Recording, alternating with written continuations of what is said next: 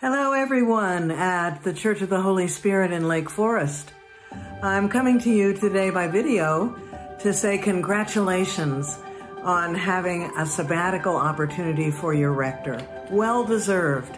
I understand that he has never had a sabbatical in 20 years of ordained ministry, so I would say it's about time for him to go off on sabbatical.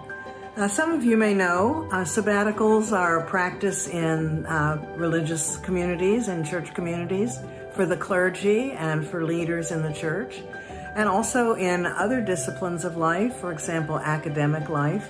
Sabbaticals become a practice of those disciplines, those those occupations where you are not simply doing a series of tasks, but you are asked to be creative, uh, to be visionary, to be imaginative.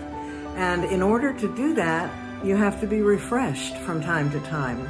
You can't just keep cranking out work, creativity, task, but need to step back and kind of allow things to sort of percolate and settle inside your head and your heart. And so I congratulate you for making this possible for Luke. And Luke, I congratulate you for taking this opportunity. Sounds like you're going to have a wonderful balance in your sabbatical. I always like to see some balance when people are away. You're having a little travel with your family in June. In July, you're going to VTS, Virginia Theological Seminary, and you're going to have some time there in that setting. And then to go to the Holy Land.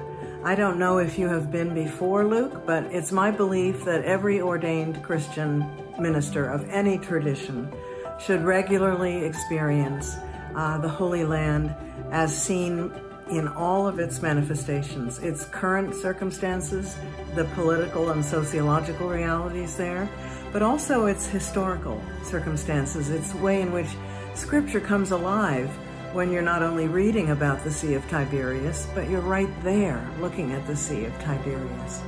So, Luke, I send blessings to you and your family as you take this time apart to recharge, uh, to recover, to rest, to travel, to be exposed to new experiences.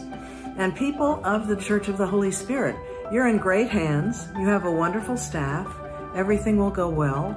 But I want you to know that I regard this as a special time of blessing for you too. As often during a rector's sabbatical, uh, some leadership rises to the top.